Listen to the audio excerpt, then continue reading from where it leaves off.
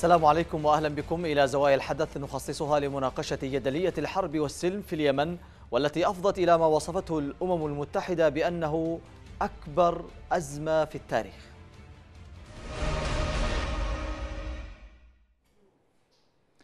تتوقف العمليات العسكرية في اليمن ثم تبدأ من جديد. ليس للأمر هنا علاقة بالاستراتيجيات والخطط بل بالارتجالية والعشوائية أحيانا وبالسعي لمواكبة التطورات السياسية أحيانا أخرى. هذا ما بات واضحا من نشاط الجبهات المصاحب لأي مساع وتوجهات لإحياء المسار السياسي المتعثر هو الآخر في حديث كهذا ينصرف الأمر في تداعياته وأسبابه إلى أسلوب إدارة التحالف السعودي الإماراتي الذي جاء لدعم الشرعية المنقلب عليها في صنعاء من قبل تحالف ميليشيا الحوثي وصالح كما كان العنوان العريض للتدخل آنذاك. لكن ذلك ربما لم يكن الهدف الحقيقي بقدر ما كان المحك الذي سقطت فيه مصداقية التحالف الأخلاقية أولا وسنوات من المعاناة الإنسانية المتفاقمة ثانيا. وعطفا على ما سبق سنقف في نقاش تداعيات هذا الموضوع من خلال محورين. لماذا حالة اللا حرب واللا سلم التي حكمت المشهد في اليمن طيلة الأربعة الأعوام الماضية؟ وهل أصبح المسار السياسي محكوما بتطورات المشهد العسكري بدلا من العكس؟ قبل النقاش نتابع التقرير. تتوقف العمليات العسكرية لأشهر وتنتهي فاعليتها ويؤمن الجميع وأولهم المجتمع الدولي بعدم نجاعة الخيار العسكري ويبدأ البحث عن إمكانية عودة الخيار السياسي إلى الواجهة. وما إن تبدأ بوادر الدعوات للعودة للمفاوضات حتى تتحرك الجبهات وتعود المواجهات والمعارك إلى واجهة الأحداث. حدث ذلك قديما ويحدث الآن مجددا. ديناميكية الحرب في اليمن أضحت أمرا محيرا ومعقدا فلا هي حرب متواصلة تنجز أهدافها ولا نية حقيقية في البحث عن خيارات السلام. لا أسوأ من حالة اللا حرب ولا سلم التي تعد أحد تداعيات غياب الرؤية لحل الأزمة في اليمن وتحول معاناة المدنيين إلى مجرد أداة لتحسين شروط التفاوض ثم لا تنجز تسويات عادلة. الحديث عن مرارة الحالة في اليمن وتبعاتها الإنسانية المتفاقمة تحيلك إلى البحث عن السبب والكيفية التي جعلت من الحرب المستعرة منذ أربعة أعوام بهذا العقم حربا بلا نتائج. الأسباب هنا ليست مجهولة ولا تحتاج إلى بحث معمق فهي ظاهرة في تخبط تحالف السعودية والإمارات المتحكمين الفعليين بملف الحرب. ما يقارب الأربعة أعوام على عمليات التحالف. كان غياب الرؤية والاستراتيجية عنوانها الأبرز وكانت الشرعية فيها الطرف الأضعف والأكثر بعدا عن فهم مجريات الصراع.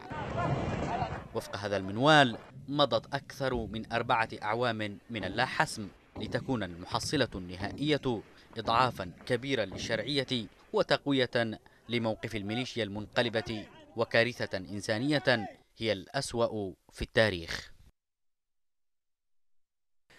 حياكم الله مشاهدينا الكرام وأرحب بضيوفي في هذه الحلقة. سيكون معنا من الرياض الخبير العسكري عبد العزيز الهداشي وسيكون معنا أيضا من تعز أستاذ علوم العلوم السياسية في جامعة الحديدة الدكتور فيصل الحذيفي. البداية مع آه، الخبير العسكري عبد العزيز الهداشي.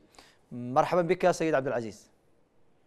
آه، السلام عليكم وأسعد الله مساءكم ومساء السادة المشاهدين. أهلا بك. بداية سيد عبد العزيز برأيك لماذا تعود المواجهات إلى الجبهات كلما بدأ الحديث عن عودة المسار السياسي؟ ربما أني طرحت هذا الموضوع آه، عبر قناتكم قبل يومين. نعم. آه، عادة تكون الجبهات هامدة هادئة حتى أن العنكبوت قد بنت خيوطها أو بنت بيتها على أفواه البدافع فإذا ما سمعوا دعوة للحوار أو للمفاوضات أو للتشاور سارع الجميع وخصوصا طرف الشرعية والتحالف. لاغتنام الفرصه أو لإثارة المعارك رغم أنه الذي لم يستطع أن يحقق انتصار خلال أربع سنوات لن يستطيع أن يحقق انتصار خلال أسابيع أو خلال أيام أو يحس الغرض يا أخي الكريم من هذا من إشعال الجبهات قبل المفاوضات هو إشعار المجتمع الدولي أن الشرعية موجودة وأن التحالف موجود وأن لديهم القدرة على المعارك.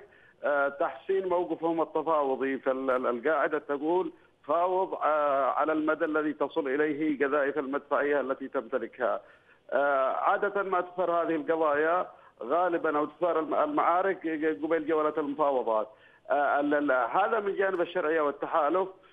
الحوثي من ناحيته يدرك هذا الأمر فيسعى إلى امتصاص موجات الهجمات هذه الصمود اي أيام أو هي عدة أيام وتهدأ. على فكرة جبهة جبهة ناطع الملاجم استمرت 48 ساعة والآن هدأت وجبهة صعدها الآن هدأت.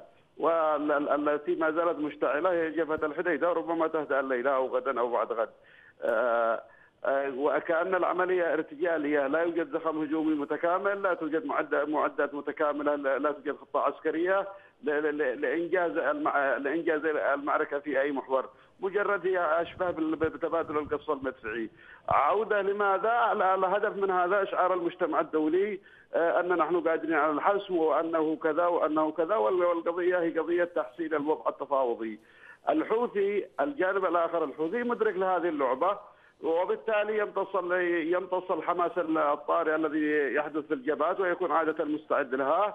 وبعد أن تخبو الجبهات ويستعد الناس للتفاوض المجتمع الدولي ينظر يعني عند المفاوضات ينظر إلى إلى الطرف المتعنت أو الطرف الذي يرفض أو المفاوضات أو الطرف الذي يضع شروط المفاوضات على أنه القوي. وبالتالي الشرعية تسارع إلى إلى المفاوضات بينما الحوثي يتمنى كما حصل في المرة السابقة. فيشعر المجتمع الدولي أو أو الأطراف الوسيطة على أن الحوثي قوي وإلا لما تعنت. لو كان لو كان ضعيف نعم. آه، لوصل إلى جنيف قبل أن يصل وفد الشرعية، تتذكر آخر مرة أن وفد الشرعية قعد أربع أيام أو خمس أيام من قبل المفاوضات والحوثي تعنت ووضع شروطه، هنا المجتمع الدولي يدرك أن الطرف المتعنت الذي لا يسعى إلى المفاوضات هو الطرف الأقوى. وبالتالي يكسب الحوثي المعركة عسكريا وسياسيا نعم. واعلاميا أمام العالم. طيب آه، ابقى معي سيد عبد العزيز اذا آه، في تعز ينضم إلينا من هناك الأستاذ العلوم السياسية في جامعة الحديدة الدكتور فيصل الحذيفي مساك الله بالخير دكتور فيصل.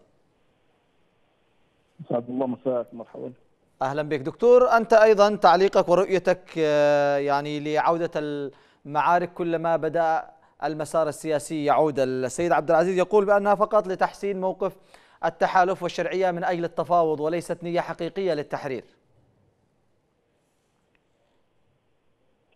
أنا أوافق آه، الضيف الكريم بمجمل ما طرحه مع إضافة آه، أن من يسيطر على جبهة الساحل هي الإمارات والإمارات تحديدا لديها أهداف خاصة وهي إدخال الموانئ اليمنية تحت سيطرتها مستقبلا وهي تحلم بأنها لن ترفع يدها من اليمن بحكم الضعف الحاصل في السلطه الشرعية وبحكم الضعف الاجتماعي وبحكم أن لديها ارتباطات غربية يمكن أن تعطى الضوء الاخضر في السيطرة فهي عينها على رأس عيسى وعينها على الحديده.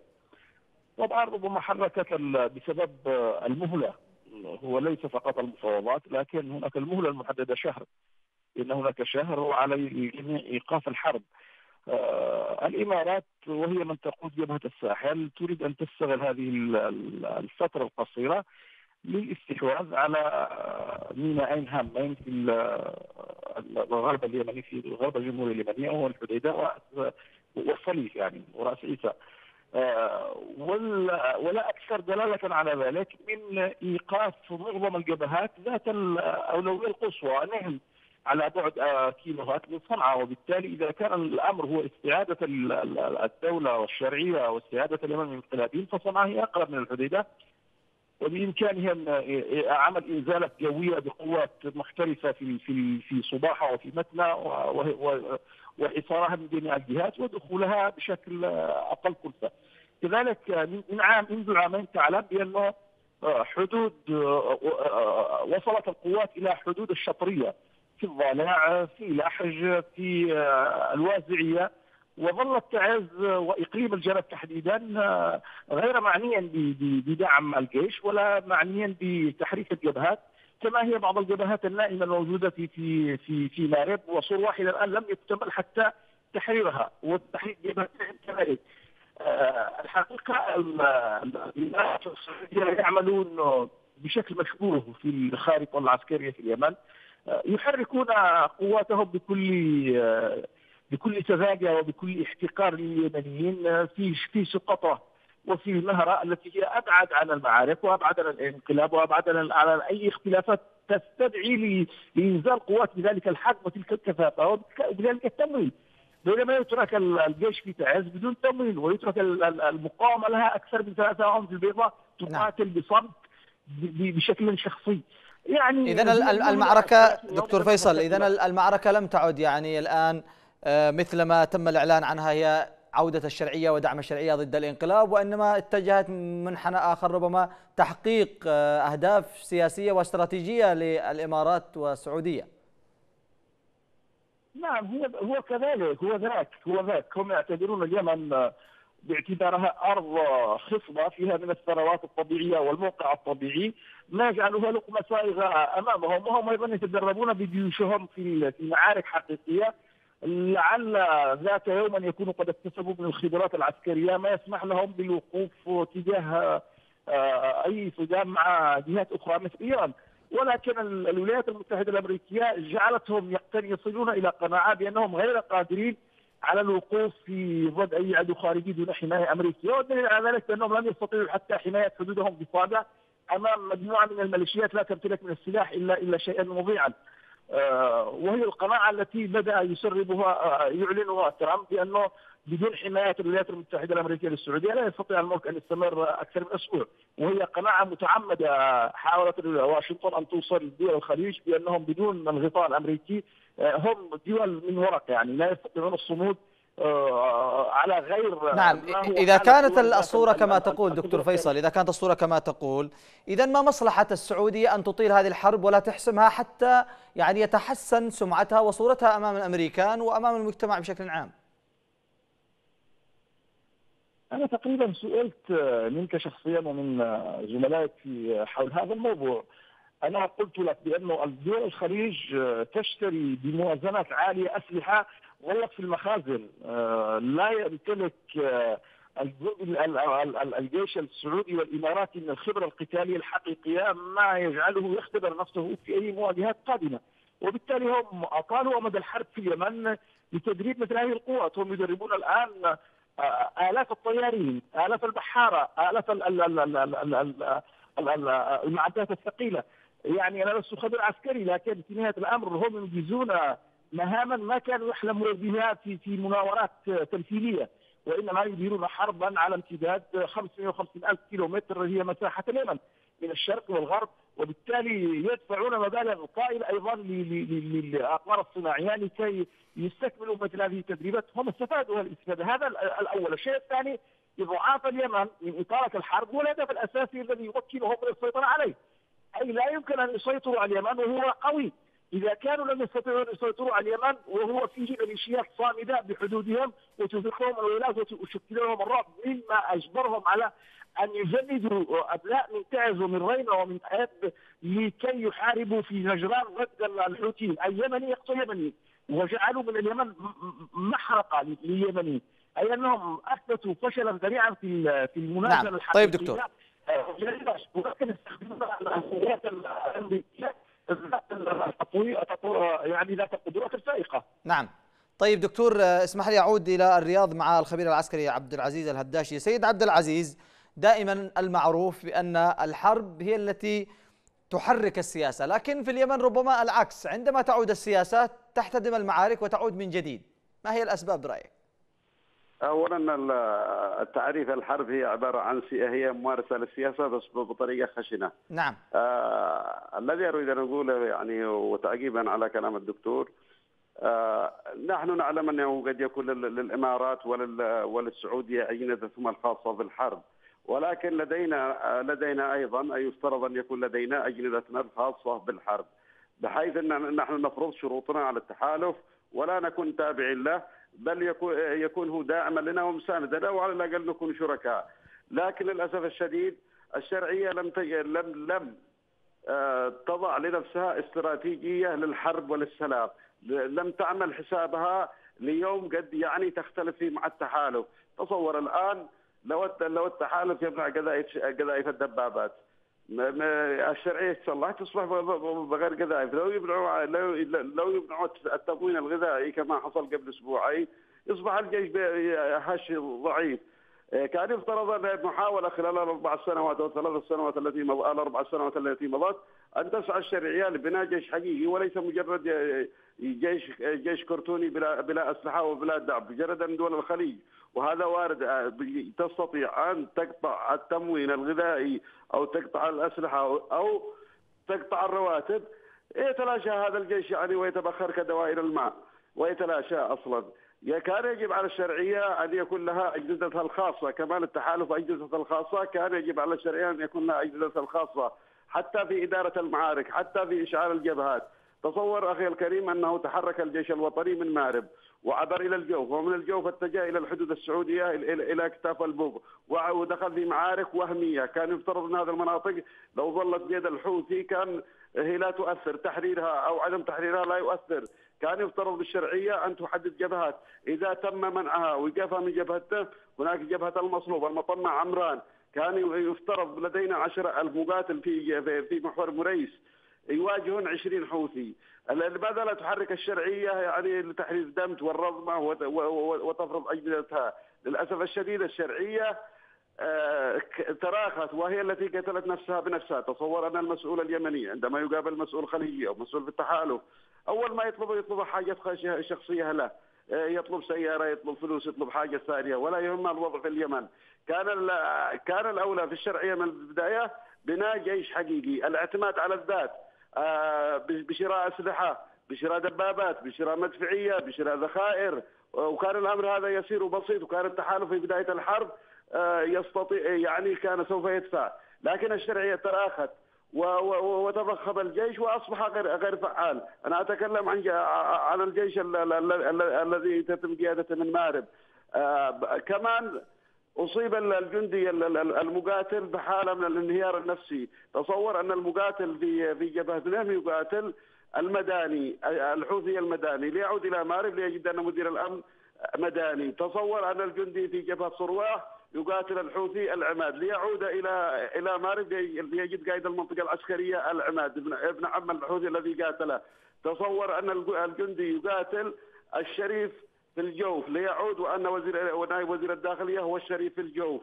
تصور أن المقاتل يقاتل في اي في, في أي جبهة من جبهات مارب يقاتل الهاشمي الولي والحوثي الولي وما هي المشكلة أستاذ عبد العزيز؟ سيد عبد العزيز ما هي المشكلة إذا كان هؤلاء الناس مخلصين للوطن وللجمهورية أكثر ممن ليسوا ينتمون إلى هذه السلالة التي ربما أنت حاولت أن يعني توجه المسار نحوها؟ يا أخي الكريم في أي كلية في العالم كلية الشرطة إذا حبيت تتقدم إلى كلية الشرطة تقوم الكلية هذا بالبحث عن أقربائك. هل لهم جرائم من الدرجة الأولى أو الثانية أو الثالثة والرابعة؟ بحيث تمنع من دخول كلية الشرطة. يا أخي بلاش الرومانسية.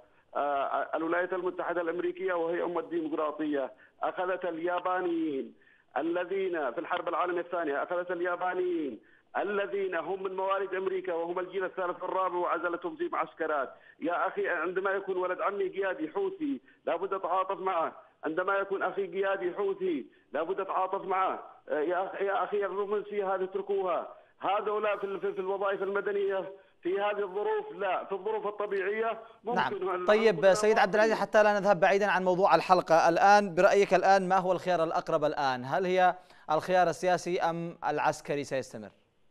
والله أعتقد الخيار الخيار السياسي سوف يفشل. لأنه لا يوجد هناك طرف آه، منتصر فعليا يكون الخيار السياسي أكثر فاعلية أو يتقارب الكل عندما يكون هناك طرف قوي آه، يستثمر انتصاراته وعندما يكون هناك طرف ضعيف لا يجد أمامه إلا الخيار السياسي حل ومنقذ له. نعم، طيب أعود إلى تعز مع الدكتور فيصل. دكتور فيصل الحذيفي ألا يمكن للوضع الحالي الآن أن يقود إلى تسوية سياسية عادلة أم يعني ما هو أو ظهر للعيان بأنه حتى في حال حدوث تسوية سياسية ستكون يعني غير عادلة وستكون غير منصفة بالنسبة لليمنيين الذين خسروا كل شيء. لا يمكن توقع أي تسوية سياسية إلا من بوابة الحوثي الذي ينبغي أن يعلن التزامه بالقرار 22 16 وهو قرار أممي ملزم وفق الفصل السابع وهو قرار يلزمه بالاستسلام دون قيد أو شرط. تسليم الأسلحة إطلاق المعتقلين تسليم المدينة الخروج من المدن عوده الشرعية. هذا هو القرار الملزم وهو أحد المرجعيات الدولية والذي بني على مرجعيات أخرى. بدون استسلام الحوثي لا يمكن الحديث أو بدون لأنه هو من صنع الحرب وبالتالي عليه أن ينهيها بأسبابها.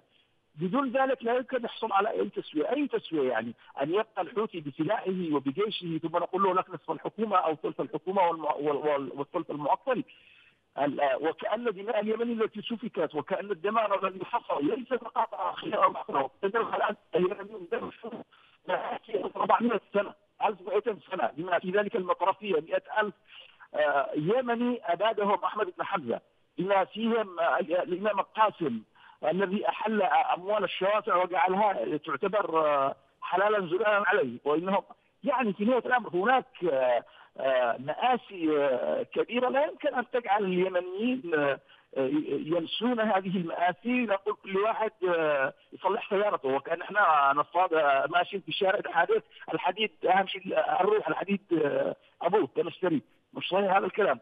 يعني وإذا تخلت دول التحالف عن اليمنيين فهم أقدر على أن يستمروا في تحرير أنفسهم بأنفسهم. وإذا ما ألزمت دول التحالف عن طريق مجلس الأمن بايقاف الحرب فإن الحرب فقط هي ستتحول من حرب محلية محلية ومحليه إقليمية إلى حرب داخلية سيحسم اليمنيون أمرهم، اليوم من يعطل آه، الجبهات ويعيق الجيش اليمني هي القوات التحالف عن طريق الطيران، الجيش اليمني لا يمتلك القرار حتى يحرك الجبهات كما وأنا أشيد بما ذكره الضيف الكريم آه، بنقاط ذات أهمية قوية، يعني جيش آه، عول رهن نفسه وسلطة رهنت نفسها للخالد وسلمت السيادة وزمام المبادره لدول التحالف بينما نحن أولى بأنفسنا. وبدلا من أن نعيد على دول التحالف علينا أن نعيد أول مرة. ماذا فعلنا لانفسنا يعني نحن عندنا ثروات قادرين ان أن نوفر حتى شهريا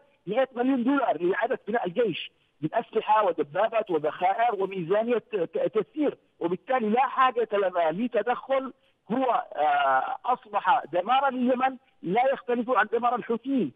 آه، هذا هو لا يوجد خيارين في اليمن غير خيار السلم الذي على الحوثيين أن يسلموا. آه، كل في 2016 وأن يعودوا إلى النقطه صفر اذا المشكلة دكتور فيصل. نعم دكتور فيصل اذا المشكلة هي في هرم الشرعية اليمنية. والسلطة اليمنية التي ارتهنت كل ما تملك وسلمت أمرها للتحالف العربي وربما هو جوهر المشكلة أليس كذلك؟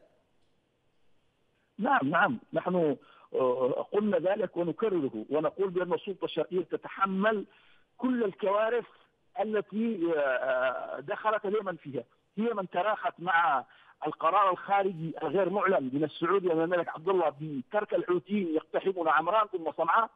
بالله رئيس جمهوري هو القائد الاعلى للقوات المسلحة يسمح لميليشيات آه، آه، تحتل مدن وتحت المعسكرات تحت سمعه وبصره ووزير دفاعه يسلم المعسكرات آه، والناس يعلمون كل ذلك ثم يقول امرا عادت إلى إلى حضن الدولة نعم. يعني هذه كوارث تاريخية لن لن ينساها اليمنيون وعلى عبد الرب منصور الا الا يتنطع المنافقون حوله بأنه الزعيم اليمني ومن هذا الكلام الذي كنا نردده تحت احذيه علي عبد الله صالح لنعود بنفس المنافقين ليرددوه تحت حذاء عبد الرب منصور، عبد الرب منصور يتحمل المسؤولية وعليه أن يصلح أخطاءه ليتحول من رئيس استبدادي بيده كل السلطات إلى القرار إلى إلى المبادرة الخليجية والحل السياسي الذي نعم. جعله رئيسا توافقيا ورئيسا حكما بين القوى السياسية باعتبار أن الحكومة ينبغي أن تكون أشكرك دكتور. توافق من جميع الأطراف. أستاذ العلوم السياسية في جامعة الحديدة الدكتور فيصل الحذيفي كنت معنا من تعز وعودة أخيرة إلى الرياض مع الخبير العسكري عبد العزيز الهداشي. سيد عبد العزيز سؤال أخير. ربما من يتابع الحلقة وتابع وتابع ما تطرحه وتقوله أنك ربما تقلل من أهمية الانتصارات التي يحققها قوات الجيش الوطني سواء في صعدة أو في الحديدة أو في بقية الجبهات وتصفه بأنه جيش كرتوني ما تعليقك؟ بالنسبة للانتصارات في صعدة أين الانتصارات؟ القضية كلها يعني قريبة الحدود السعودية لا تتعدى 10 كيلو جبهة جبهة علب جبهة كتاف جبهة الملاحظ المسافة كلها 10 كيلو ولا والكر والفر في خلالها فلا يوجد أي انتصارات. الذي موجود أمس الجيش أعلن عن تقدم 40 كيلو متر في عمق صعدة ويعني الوصول إلى مشارف مران وسقوط 20 قريه على مشارف مران من قبل سنة من قبل سنة وهو على مشارف مران. بعيد عن الحدود السعودية 10 كيلو. عندما يدخل من جبهة الملاحظ 40 كيلو بيتجاوز مران كلها. كل هذا كلام تهريج إعلامي حتى التصريحات العسكرية امس كانت تهريج إعلامي.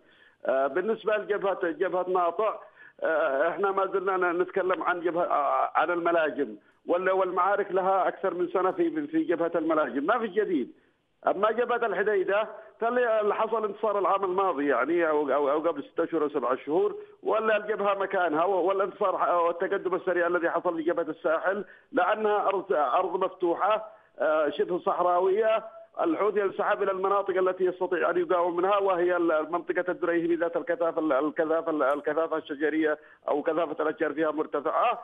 وإلى الحديدة يعني يقاوم من وسط المدن، البقية شريط ساحلي شبه خالي من السكان. آه، صحراوي لا يمكن أن يصمد أمام الطيران أو, نعم. أو أمام البوارج. ومع ذلك لم يتم إنجاز هذه المهمة وتحرير الحديدة التي ربما كان الجميع منتظر أن تحرر خلال الأشهر التي مضت. شكرا جزيلا لك الخبير العسكري عبد العزيز الهداشي وشكر أيضا لأستاذ العلوم السياسية بجامعة الحديده الدكتور فيصل الحذيفي. ختام هذه الحلقة تقبلوا تحايا معد هذه الحلقة الزميل ماهر أبو المجد كما هي لكم مني بشير الحارثي. حتى الملتقى في زوايا الحدث. حفظكم الله والوطن.